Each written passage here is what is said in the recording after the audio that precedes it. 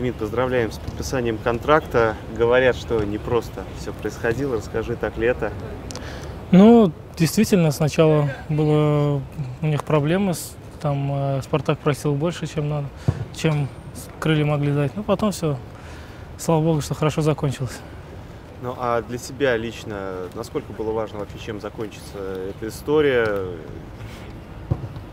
Твоя э, роль вот именно как футболиста. Всегда мы знаем, да, что от желания футболиста тоже много зависит.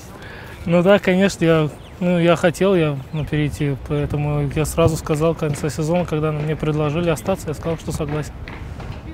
Э, Сейчас контракт э, на три года подписал. Сейчас, да, на три. Должен, но я еще не подписал, просто сейчас по приезду подпишем. Номер за собой оставишь тот же. Ну, вроде, наверное, нельзя менять, поэтому я оставлю тот же. А Эмоционально сказалось это на тебе на тренировочном процессе? Вчера, может быть, игра уже какой-то особенный характер для тебя носила? Нет, все так же. Я, я уже думал, что уже перейду. Поэтому я не сомневался. Твои друзья тоже очень рады, что ты Да, да, очень рада все, что я перешел, походу.